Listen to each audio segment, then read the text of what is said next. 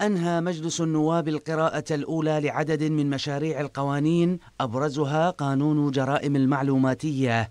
رغم الجدل والاعتراضات على بعض فقرات هذا القانون المرحل من الدورة النيابية السابقة وفق نواب طالبوا الحكومة بسحب القانون لإنضاجه وإعادته للبرلمان دون المساس بالحريات العامة. مخاطبات للسيد رئيس مجلس الوزراء بسحب القانون لأن القانون يجب أن يكون لا يكون هناك انتهاك. للشعب العراقي لأن المادة 38 من الدستور حرية حرية الرأي والتعبير والتظاهر السلمي وكذلك المادة 20 للمواطنين نساء ورجال حق المشاركة بالشؤون العامة والمادة 5 من الدستور الشعب مصدر السلطات.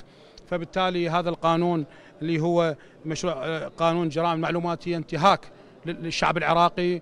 انقسام مجلس النواب حول قانون جرائم المعلوماتية لا يمنع وضعه على جدول الأعمال والشروع بإقراره بحسب نواب أكدوا أن القانون سيخضع للدراسة والتمحيص وعقد ورش عمل مع منظمات المجتمع المدني قبل عرضه للقراءة الثانية.